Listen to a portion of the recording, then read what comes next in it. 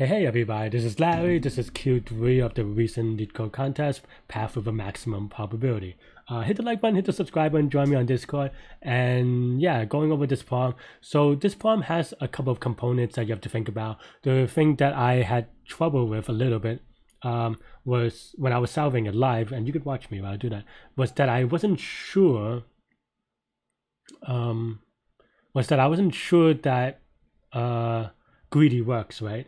Uh, so, I mean, it looks like a shortest path and it smells like a shortest path. So I knew that was maybe some variation of a shortest path. Uh, there are a lot of shortest path algorithms though. So, um, so the thing for me that I had to try to figure out was that, uh, that multiplying two probabilities, you always, uh, the greedy construct is that when you add a node, you always want to get that no to that node with the maximum probability.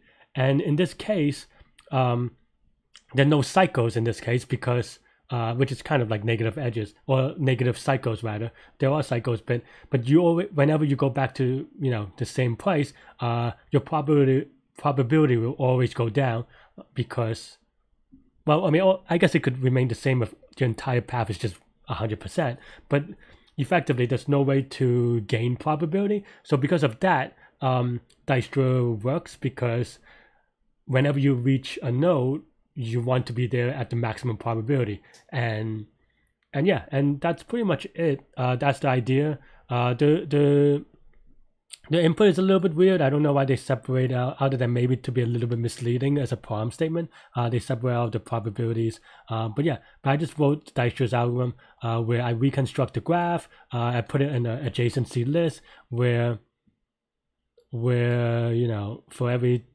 u connected to v with a probability of w, uh, and I just use w because of their weights, and uv are both popular graph constructs. Um, yeah, and that's how I construct the adjacency graph. Uh, I set the the default value to zero, meaning that there's zero chance of getting to any of those places. Uh, and in Python, heaps are min heaps.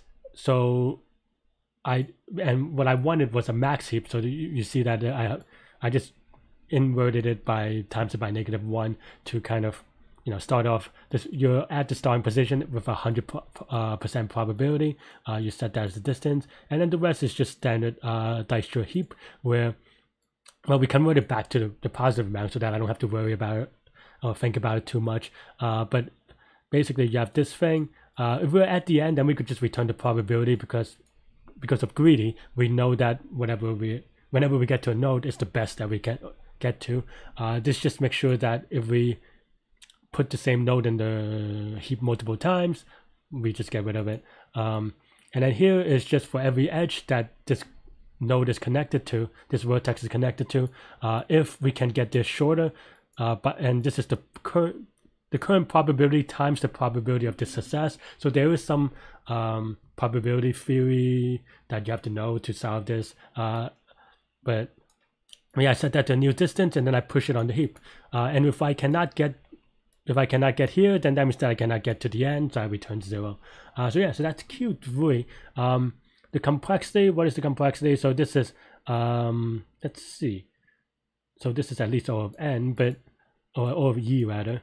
Um, but yeah, so we put each node in, uh, so this is going to be, the heap may will have at most O of E elements. So that means that every iteration will be log E. And because we only do, roughly speaking, uh, V-ish uh, number of relaxations, um, it's going to be log E. Uh, and yeah, and that's the time uh, yeah, that's time complexity. The space complexity, we well we store something for each edge, so it's gonna be O of v plus e uh, per se. So yeah, so that's kind of the complexity for this one. Uh, this is I could totally see this one uh, being on an interview, so definitely practice for it because it is just the shortest path. Uh, there is some greedy as well, but it is based off things that in theory people should know. Uh, so yeah, that's all I have for this problem. Stay tuned for the live portion. Oh, I have to press. You got it so quickly. Uh, and then path with maximum probability. Um, I I was so so the short answer for this problem is that it is greedy, slash um, Dijkstra's algorithm. Uh, I mean, Dijkstra's algorithm requires it. You know, it is a greedy algorithm, right? Um, but for me, I just ha- I had to convince myself, and that's what I was thinking in the beginning. I had to convince myself that uh, I mean, clearly it's the shortest path problem of some sort. Um, but the implementation and whether we could do greedy Dijkstra uh, wasn't so super weird. clear to me. Also, the input was a little bit weird in that I don't know why they separated out the edges and the and the success probability and not putting them together. Maybe that maybe they try and not make it a hint or something. Uh, but I also had did have some concerns about just um, in terms of uh, possible mistakes and stuff like that. So I was definitely trying to be mindful, but but for this one, I yeah, and I just I think right now I'm just trying to convince myself that uh, the greedy album is okay because I was like mm, like intuit uh, intuition wise that's what I thought, but I really wasn't sure. Um, so so yeah, so that's basically what I was doing, and I was like, okay, uh, if I'm going to do that, sure, the base case will be zero, so that's what I put there. Um,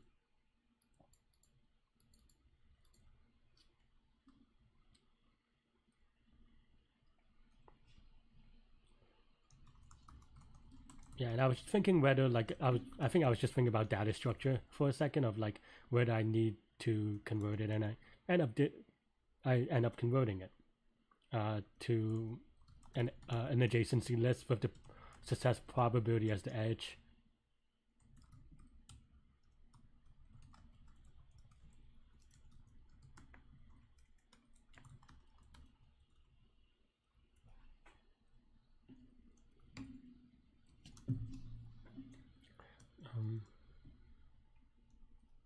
And yeah, and then I was just like, okay, let's just do a Dijkstra. Let's make put a heap, and do do do do do do do do do do do do.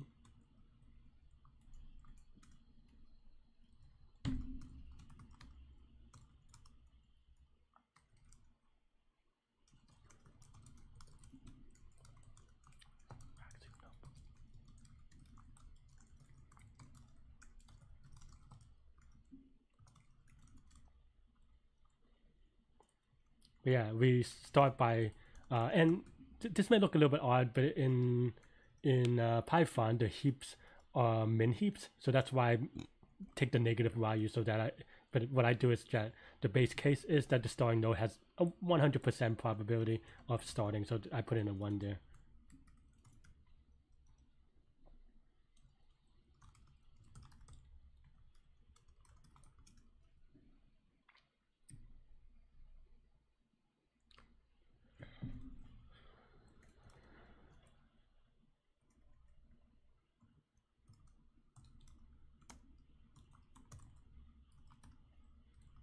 yeah now i get the probability and the node. Uh, this is right now standard Dijkstra. i think i was a little bit slow uh, but i was still thinking through what everything meant. And this is where if you had practiced it and i did practice it to be honest but uh, you practice it enough then maybe you'll be able to type it faster. But i was just i don't know. Um, i think i was pretty fast for these first three problems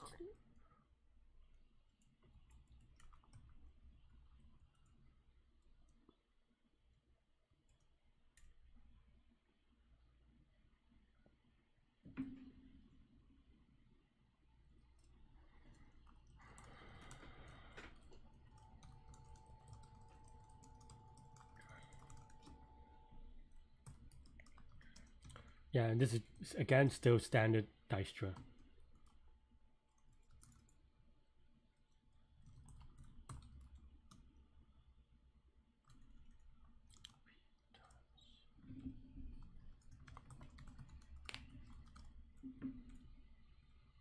But instead of add, using, you know, adding as the rate, I did the probability times the the rate of the the success probability. I mean, I called it the rate, but um, yeah, that's pretty much it and then I just have to add one more if statement for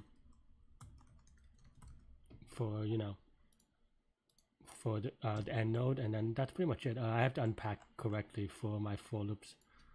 Um, I think that's mostly it. Maybe I'm, I don't remember. Let's see. Uh, yeah, it looks okay. It, it looks to match the example, so I submit it. Wasn't 100% sure on that